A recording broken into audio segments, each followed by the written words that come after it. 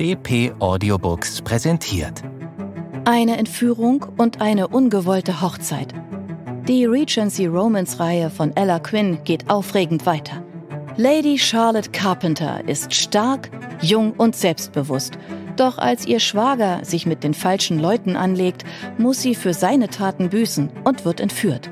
Zum Glück rettet ein junger Gentleman sie aus der misslichen Lage. Als Charlotte jedoch herausfindet, wer ihr zu Hilfe gekommen ist, zieht sie sich augenblicklich von ihm zurück. Constantine, der Marquis of Kenilworth, hat zwar einen Ruf als Frauenheld, ist aber zur rechten Zeit zur Stelle, um die junge Lady Charlotte vor echten Schurken zu retten.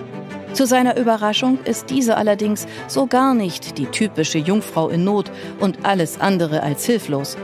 Aber die beiden werden in der Entführungsnacht zusammen gesehen und der Skandal ist groß, als auch noch eine Klatschkolumne über die beiden berichtet.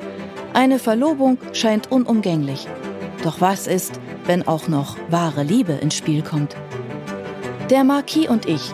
The Worthingtons, Band 4 von Ella Quinn. DP Audiobooks.